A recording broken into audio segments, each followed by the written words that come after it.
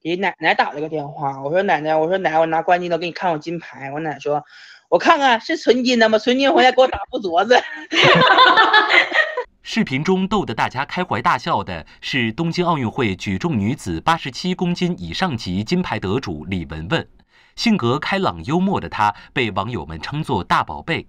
八月十二号，中新社记者通过视频连线专访李雯雯，她表示，虽然目前还在隔离，但已经开始调整状态，备战全运会。现在因为可以训练了，国家有给我们很好的政策，给我们一些特定地地点可以训练，所以说。现在每天就是三点一线吧，两点一线吧，就是训练房间就这个样子。现在还是考虑接下来的赛，因为确实说这个奥运会算是一个最大规模的赛程，完事之后人的就是心理或者是说都会有很大的疲惫，然后但是现在要。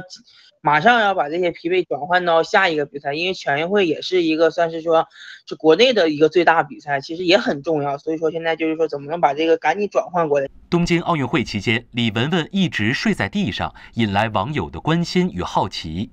李雯雯解释道：“大体重睡在地上更能缓解腰部疲劳，奥运前就做好决定睡地上。其实大家应该都知道，举重的腰都不太好，然后就不能睡软床。你睡软床，你上身是压着在。我压下去，然后腿是翘起来的，有点有点这种情况。但是你上身压下去，腰是一直受力的。你这样睡一个晚上的话，你的腰会得不到恢复，而且反反倒它的疲劳更加加重。所以说赛前我就有跟队里说，我说我去直接睡地上吧。然后队里面，我们队里面也及时及时给我加了两床被子、两床褥子什么的。所以说，其实睡地上。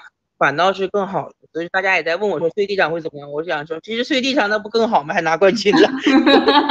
谈到此次夺得奥运金牌的意义，李雯雯表示，拿到金牌完成了爷爷对她的期许。因为我爷爷去年的九月份过世了，但是我爷爷就是今生很大的愿望，就想看我拿奥运冠军。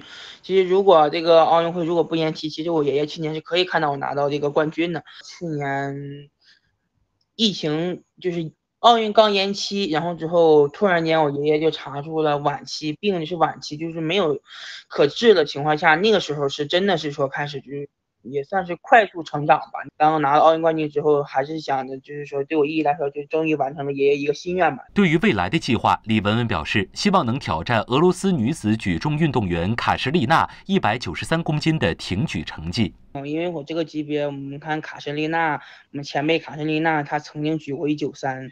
我还是挺想挑战把这一九三超过了。嗯，首先是这样下的，先别想那么多，先把全运会拿下吧。